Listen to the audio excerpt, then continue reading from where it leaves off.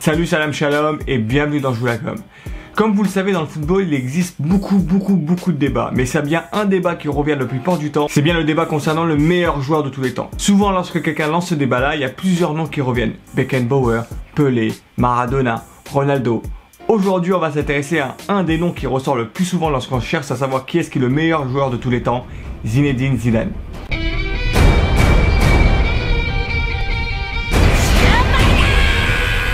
Eh bien, c'est une question assez compliquée et je pense que pour pouvoir y répondre, il est nécessaire de revenir sur l'ensemble de la carrière footballistique de Zidane. Avant de commencer, vous pourrez constater que la formule du Joulacom a un peu changé. Désormais, je laisse une place beaucoup plus grande à la mi-temps culturelle. J'aime bien découvrir et redécouvrir des carrières de joueurs, redécouvrir des moments historiques du football et j'aime aussi les transmettre à des personnes qui n'ont pas forcément vécu ces moments-là. Et c'est aussi pour ça, et vous le verrez dans cette vidéo, que la mi-temps culturelle est beaucoup plus complète, beaucoup plus longue, ce qui a nécessité des recherches beaucoup, beaucoup, beaucoup plus profondes. Mais bien sûr, ne vous inquiétez pas, il y aura toujours la partie football IRL où je tenterai de reproduire un but légendaire, le but du joueur concerné. Et ça maintenant, ça sera en fin de vidéo, juste après la mi-temps culturel. Donc restez bien jusqu'à la fin de vidéo. La carrière de Zizou débute en D1 contre le FC Nantes le 20 mai 1989. Deux ans plus tard, en 1991, il inscrira son premier but toujours contre le FC Nantes, ce qui lui donne le droit à une Peugeot 205 rouge. Une autre époque, c'est les années 90. Hein. Alors mon premier but en première division, enfin celui-là il est facile à, facile à se rappeler. C'était euh, c'était en fait un championnat contre, contre Nantes euh, avec la.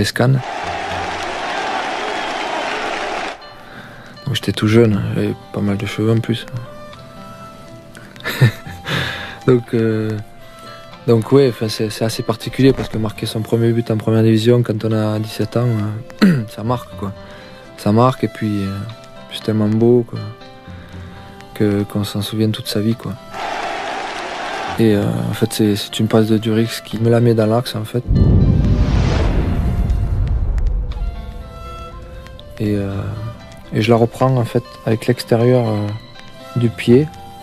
Je me la soulève, en quelque sorte, je me la soulève un petit peu pour qu'elle rebombe. David Marot était, le gardien de Nantes à l'époque il est un peu avancé. Hein. Euh, et, j'arrive à le lober.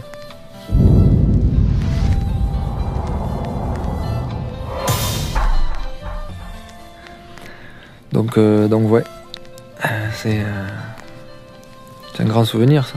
Premier, les premiers, les premiers buts quoi. Faire le premier but pour moi c'est, ça reste, reste assez particulier.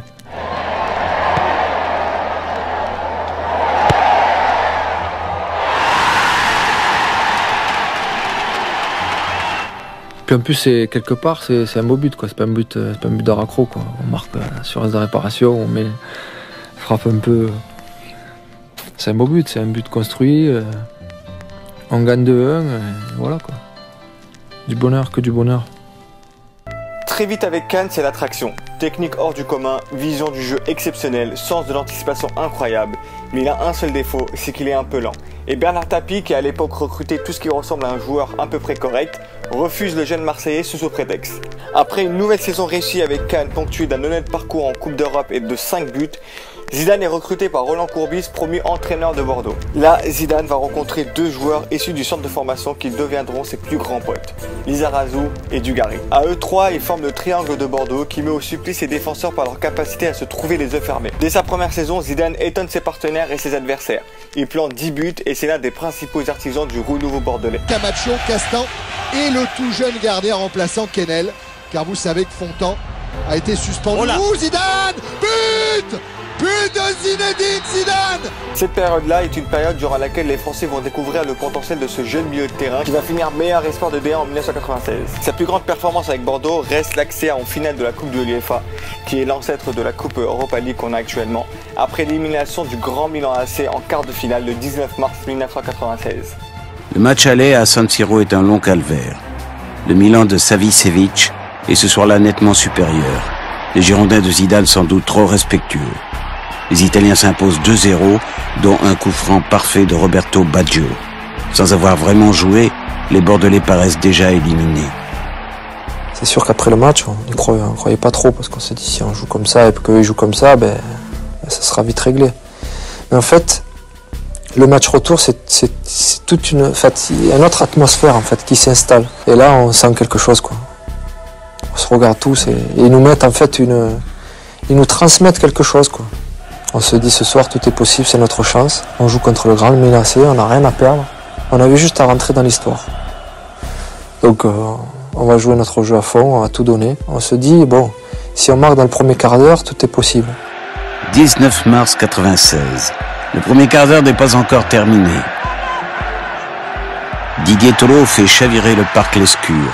Il faut marquer encore deux fois pour écrire une grande histoire. Et là, bon, bah, après, c'est l'euphorie, quoi.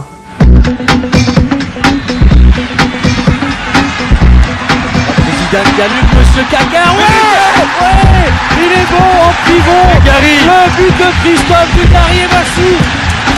2 à 0.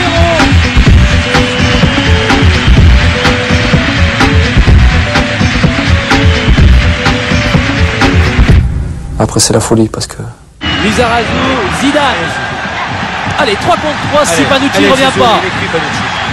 Ouh là là, Zidane qui va le redonner à Dugarry dans la surface. Allez, frappe et but Oh, quel but Super là là, quel but de Christophe Dugarry 3 à 0 pour Bordeaux. C'est mon premier grand souvenir quoi, de footballeur sur le terrain. C'est ma première grande victoire.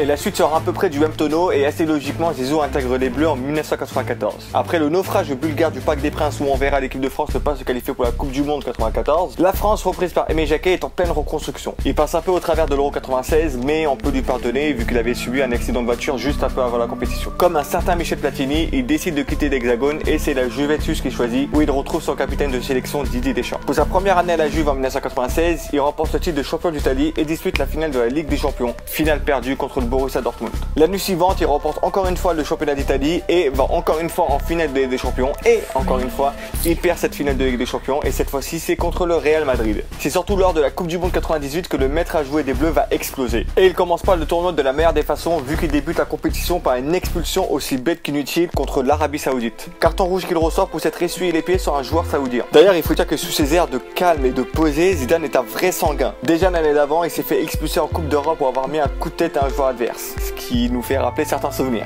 Il arrive à accéder à la finale de cette Coupe du Monde où il offrira le titre à la France à lui tout seul. Deux coups de tête magistraux sur deux corners lui permettront de soulever la Coupe du Monde et en plus de ça de remporter le Ballon d'Or 1998. Ainsi, il fait son premier pas dans la légende. Il fera encore trois saisons à la Juve mais ne remportera rien de bien notable. C'est avec les Bleus qu'il écrit ses plus belles pages. Lors de l'Euro 2000, il inscrit le penalty libérateur en demi-finale contre le Portugal. Champion d'Europe en 2000, il est recruté par le Real Madrid de Florentino Pérez en 2001 pour 77 millions d'euros, ce qu'il fut à l'époque le plus gros transfert de tous les temps. Il est l'un des premiers galactiques à rejoindre le bateau de la Maison Blanche. En 2002, il remporte enfin la compétition qui le fuit depuis plusieurs années, la Ligue des Champions. Et encore une fois, il donne la victoire au Océan en inscrivant le plus beau but de sa carrière, une fameuse reprise de volée du gauche qui finit en pleine lucarne. Arrivé sur les rotules à la Coupe du Monde 2002, il se blesse à la cuisse juste avant le tournoi, ce qui plonge la France dans un désarroi. Champion d'Espagne avec le Real Madrid en 2003, Zidane verra sa fin de carrière limitée par le recrutement du Real qui se contente seulement d'empiler les stars sans fond de jeu. Et c'est pendant l'Euro 2004 où il va me gratifier de mon premier souvenir et de mon meilleur souvenir concernant le football. Laissez-moi vous raconter le match France-Angleterre du 13 juin 2004. Nous sommes à la 91e minute, 1-0 pour l'Angleterre et Makelele subit une faute à 20 mètres des buts anglais. Coup franc, Zidane s'accapare du ballon le pose, le place, prend 4 pas d'élan. Et là, comme d'une évidence la plus limpide qu'il soit, il envoie le ballon petit filet côté gardien. 1-1. Très exactement une minute plus tard, Steven Gerrard, le plus grand milieu anglais de tous les temps, la légende de Liverpool qui a remporté 0 PL, lance parfaitement Henry dans la profondeur, qui se retrouve face à face à David James, aka Calamity James. Crochet de Henry, fauchage de James, penalty, 93e minute. Zidane pose le ballon, c'est logique, le numéro 10 marque dans le petit filet gauche.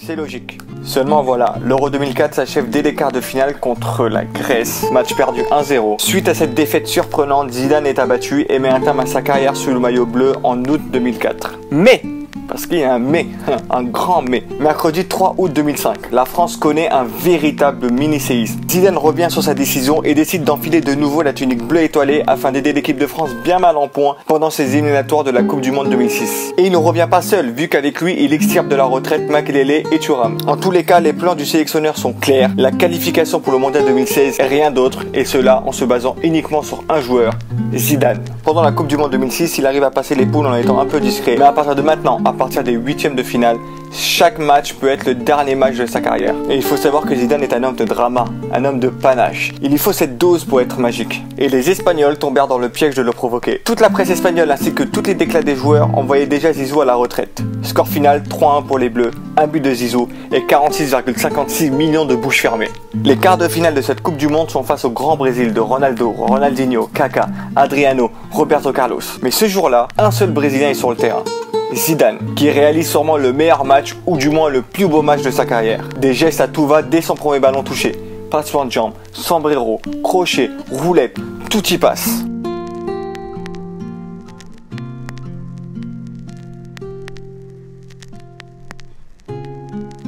Ensuite, une nouvelle fois, comme durant l'Euro 2000, il va guider ses essais en inscrivant le seul but en demi-finale contre le Portugal. Zidane est alors qualifié en finale de la Coupe du Monde pour la deuxième fois de sa carrière. Mais on va s'arrêter là parce que la suite me chagrine trop. Je suis toujours pas prêt à raconter ou à revoir des images de la finale de la Coupe du Monde contre l'Italie. Vraiment. Donc on va s'arrêter là pour la carrière de Zizou en tant que joueur et je pense qu'il est aussi important de voir ce que ça donne en tant que coach pour pouvoir juger de son impact dans le milieu du football. Parlons maintenant un peu de Zidane en tant que coach. Ça va être assez court vu que c'est quelque chose d'assez récent et beaucoup de personnes sont en connaissance de ces faits. Je pense que c'est important d'en parler quand même. Zidane n'a passé que deux saisons et demie sur le banc du Real Madrid, soit 879 jours. Il a succédé à l'espagnol Rafael Benitez le 4 janvier 2016 pour sa première expérience en tant qu'entraîneur à ce niveau-là. Après avoir fait ses armes comme adjoint de Carlo Ancelotti la saison 2013-2014, puis à la tête de la Castilla, l'équipe B du Real Madrid, en 2014-2016. En quelques mois seulement, l'ancien numéro 10 des Bleus avait relancé une équipe moribonde. Alors dites-vous que durant ce laps de temps, Zidane aura remporté 3 Ligues des Champions d'affilée, ce qui n'a jamais été effectué durant l'ère moderne du football. Et le pire dans tout ça, c'est qu'il récupère une équipe qui n'arrivait plus à jouer et qui n'arrivait plus à gagner. Vous avez bien entendu, il a fait deux saisons et demie sur le banc du Real en tant que débutant coach. Durant ce court laps de temps, il aura remporté 9 titres. Il n'aura perdu aucune finale. 3 Ligues des Champions, 2016, 2017, 2018.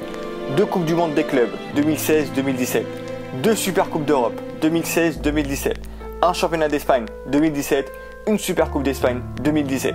Il est aussi le premier entraîneur dans toute l'histoire du football à remporter trois Ligues des Champions d'affilée. Cette culture de la gagne se ressent aussi dans le pourcentage de victoires du coach français. En 179 matchs sur le banc du Real, Zidane s'est imposé 104 fois, soit 70% de victoires. Le Marseillais n'a perdu que 16 matchs. Je ne sais pas si vous vous rendez compte de cette stat, mais c'est juste incroyable. Mieux encore, lors de la première saison comme entraîneur du Real, il avait aussi réussi à égaler le record de Pep Guardiola avec son fameux Barcelone de la saison 2010-2011 avec 16 victoires d'affilée. Mesdames, messieurs, c'était Zinedine Zidane. Donc du coup, Zidane meilleur joueur de tous les temps ou pas? Et ben c'est une question assez compliquée, c'est assez difficile de désigner un seul meilleur joueur de tous les temps. C'est difficile parce qu'il y a tellement de facteurs à prendre en jeu qui sont pas forcément compatibles les uns avec les autres. Par exemple, un joueur qui a évolué dans les années 60 comme Pelé et un joueur qui évolue maintenant comme Messi, bah ils vivent pas le même football, ils pratiquent pas le même football, il n'y a pas le même contexte footballistique sur lesquels on peut se baser. Un autre exemple, on peut très bien dire que Messi est le meilleur joueur de tous les temps en termes de qualité footballistique, d'accord? Mais est-ce qu'on peut dire que c'est le meilleur joueur de tous les temps sans qu'il ait gagné le Coupe du Monde alors que certains comme Pelé en ont déjà gagné 3 donc voilà, c'est vraiment une question très très très compliquée. Après, concernant Zidane, je peux mettre ma main à couper qui fait partie des 10 meilleurs joueurs de tous les temps, ça c'est sûr et certain. Par contre, si un jour il arrive à rajouter à ses trophées une Coupe du Monde en tant que coach, et j'espère avec la France, c'est-à-dire qu'il aura fait Coupe du Monde LDC en tant que joueur et en tant qu'entraîneur, et Ballon d'Or, on pourra considérer sans aucune hésitation que Zidane fait partie des meilleurs acteurs du sport football avec Cruyff et Beckenbauer. Bon voilà, je pense que j'ai assez parlé concernant la question. Maintenant, on va tenter de reproduire, en partant sur le terrain, le plus beau but de la carrière de Zidane, j'en ai parlé dans la mi-temps culturelle, c'est-à-dire la reprise de volée du gauche contre le Bayer Leverkusen en finale de Ligue des Champions. Trop de blabla, trop de blabla.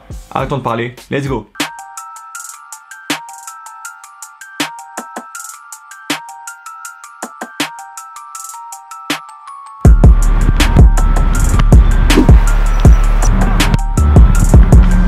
commence à s'ajuster. Le seul euh, petit fait qui est un peu compliqué, c'est qu'il faut prendre la balle super haut. Et vu que je suis pas gaucher, c'est super compliqué pour moi d'ouvrir la jambe. Ça me gêne de ouf pour la prendre.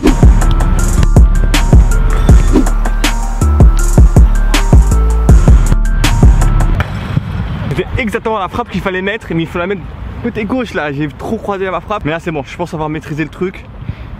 Je le sens bien. Mmh. Un tout petit peu trop bas. Un tout petit peu trop bas là, mais un peu au-dessus, elle est parfaite. Ah, j'ai remis la même deux fois. J'ai remis la même deux fois. Un tout petit peu plus haute, elle est parfaite cette balle.